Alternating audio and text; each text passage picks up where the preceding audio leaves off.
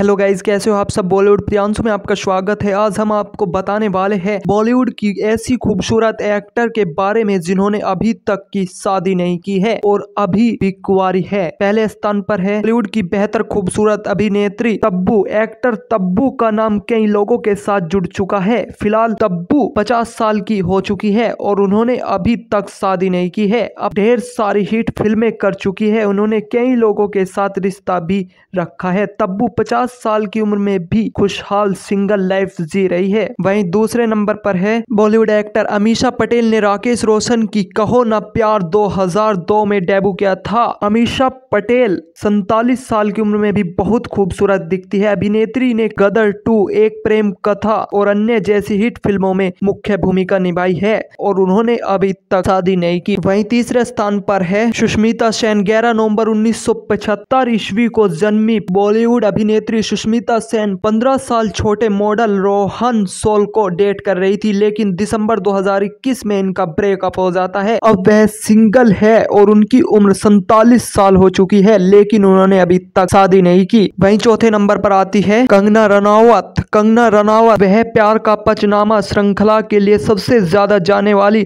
कंगना रनावत का जन्म 17 मई उन्नीस ईस्वी को हुआ था। वह सैतीस साल की हो चुकी है, फिर भी वह शादी के मूड में नहीं है। उन्होंने 2002 में टेलीविज़न से अपने कैरियर की शुरुआत की थी और, और उन्होंने अभी तक शादी नहीं की है। वही पाँचवें स्थान पर है सोनाक्षी सिन्हा। अक्सर अपनी लव लाइफ को लेकर बहुत अधिक चर्चा में रहती है। सोनाक्षी सिन्हा और एक्टर जहीर इकबाल के रिलेशनशिप की खबरें पिछले कई समय से लगातार सुर्खियों में है। हीरोइन सोनाक्षी सिन्हा पैंतीस साल की हो चुकी है और अभी तक उन्होंने शादी नहीं की है। छठे स्थान पर है श्रीलंका ब्यूटी क्वीन जैकलिन ने बॉलीवुड में अपनी एक खास जगह बनाई है। तेरह अगस्त उन्नीस उन्नीस ईस्वी को जन्मी जैकलीन। आज बॉलीवुड की सबसे हॉट अभिनेत्रियों में से एक है और जैकलीन फ़िलहाल सैतीस साल की हो चुकी है और उन्होंने अभी तक शादी नहीं की है। जैकलीन योग और जिम के ज़रिए खुद को मेंटेन रखती है। वहीं सातवें स्थान पर है एकता कपूर। तुषार कपूर की बहन एकता कपूर सैतालीस साल की हो चुकी है, लेकिन उन्होंने अभी तक